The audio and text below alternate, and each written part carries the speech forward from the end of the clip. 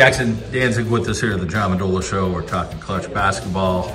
Um, let's talk about when you got the call, like, hey, you still want to play some ball, it's competitive. Like, was it an automatic yes, or there a bunch of factors to see if it's going to work for you?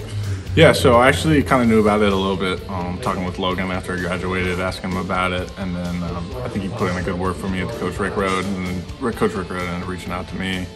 Um, it was immediate, yes. I just wanted to keep playing, you know. Um, love the game. That itch will never go away. So when I got that call, I immediately jumped on it.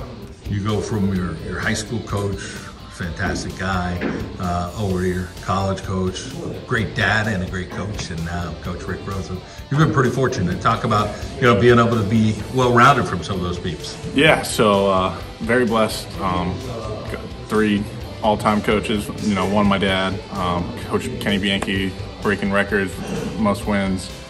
Um, a lot of advice, a lot of wisdom from him, and then you know having the opportunity to play for my dad, um, being able to grow our relationship together. Um, that was an amazing experience, and now to be able to play under Coach Rickrode, who's had a great legacy, coaching at Wilkes. Um, you know, I'm just very blessed to be able to have these guys be uh, role models for me. You're the new guy this year, but you know, nonetheless, you know, you bring something to this team. There's a respect factor. Talk a little bit about just, hey, I'm going to go in here and, and show them what I got, and you know, I'm going to find a way to get some minutes on the floor and do what I got to do. Yeah. So the team's really talented. Everyone's really good. We go 10 deep. Um, you know, coming into it, my thought process is I know I'm not the most athletic, but you know I could shoot the three. I could, I got a good IQ, so put my, I'm gonna help the guys put them in winning positions, making the right play, making sure that uh, the flow doesn't stop, and that uh, I'm helping elevate the team's level of play.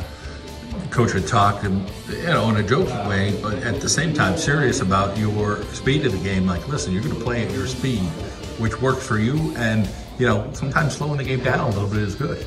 Yeah, so uh, definitely a lot of mistakes eventually get to this point where I'm at. Um, I used to be really athletic, and I'm not anymore, so I had to figure out different ways uh, to be successful. So I think it's definitely helped probably could have cut back on the alcohol a little bit.